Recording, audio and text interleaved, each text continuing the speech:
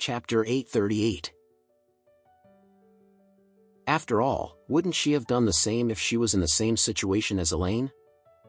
Therefore, Lady Richard did not intend to be kind or gracious toward Elaine at all. Moreover, Lady Richard could not help but remember the humiliation that she had suffered at the villa at Beacon Top today.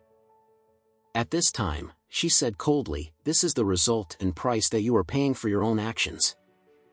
You should just enjoy the consequences of your actions. This is just the first day. We are going to spend another 14 days together. After she was done speaking, Lady Richard snorted coldly before she turned around and walked out of the toilet. Elaine was sitting on the toilet floor and she felt very hungry and cold. She really felt like crying because she was so helpless and desperate at this point. However, she immediately covered her mouth when she thought of the fierce and vicious Brabus.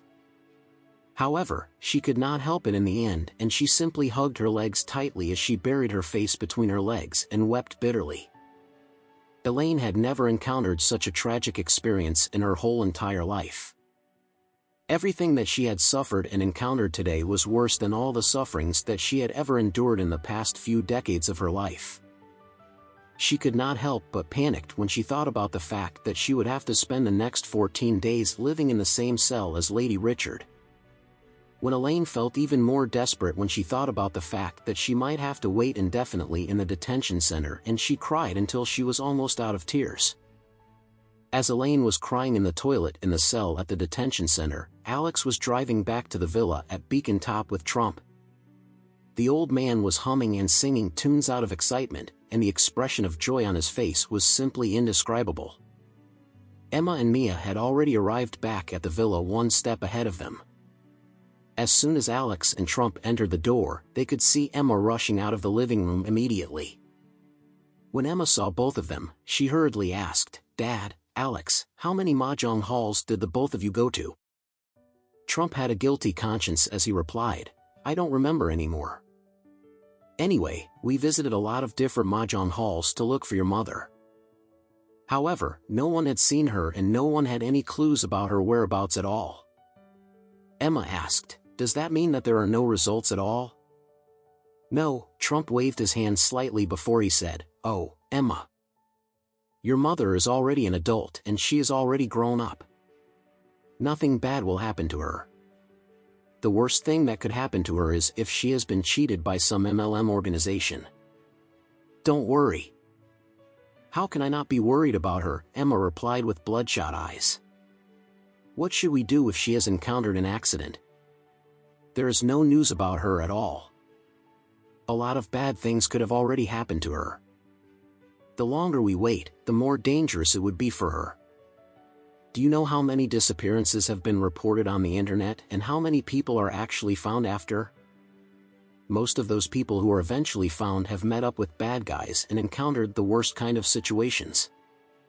Trump replied immediately, how can it be as dangerous as you make it out to be?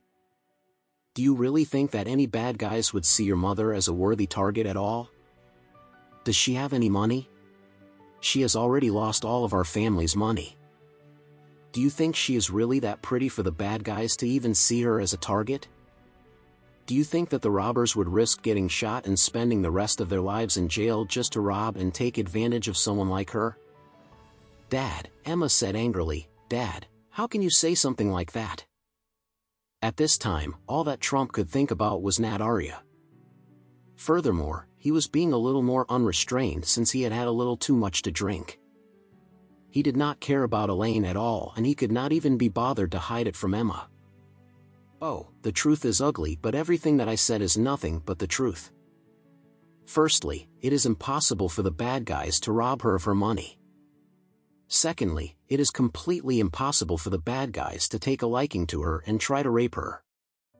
So, what kind of danger can she possibly be in? Besides, don't you understand your mother's temper and personality by now? Who would dare to provoke her? She yelled out of our window in our own housing community in the past and no one dared to make another noise then. Do you really think that anyone would dare to see her as a target? Emma was left completely speechless by her father's words. After that, she shrugged before she asked angrily, Dad. Were you drinking just now?